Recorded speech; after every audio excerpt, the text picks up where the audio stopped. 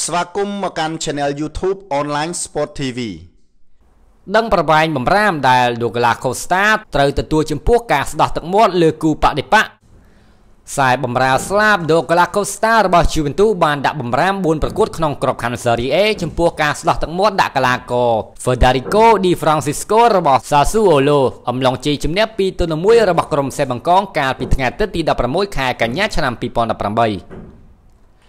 ដំបូងកូស្តាត្រូវបានពិន័យការលៀងក្នុងម៉ោងបន្ថែមមិនគ្រប់ចំពោះការឲ្យកែងបន្ទាប់មកប៉មយកក្បាលអុកលើឌីហ្វ្រាំងស៊ីស្កូបន្ទាប់ពីចែងបាល់យ៉ាងគ្រោះថ្នាក់លើខ្សែបម្រើស្លាប់អ៊ីតាលីវ័យ24ឆ្នាំបន្ទាប់មកទៀតកីឡាករជំនឿជាតិប្រេស៊ីលវ័យ28ឆ្នាំត្រូវបានអាជ្ញាកណ្ដាលបណ្តេញចេញក្រោយមើលរូបភាពសារឡើងវិញតាម VAR ហើយឃើញថាកូស្តាបានស្ដោះទឹកមាត់ដាក់ឌីហ្វ្រាំងស៊ីស្កូអតីតសមាជិក Gremio Sakta Dunet និង Beyond Munich ខាងលើនឹងខកខានការប្រកួតទល់នឹង Brosinone បូកលោកណា Napoli និង Udinese គួរដឹងដែរថាភ្លាមភ្លាមក្រោយការប្រកួត Costa បានបង្ហាសារសំទោសមករួមក្រុមចំពោះអ្នកគាំទ្រចំពោះការទប់អារម្មណ៍មិនបានរបស់គេ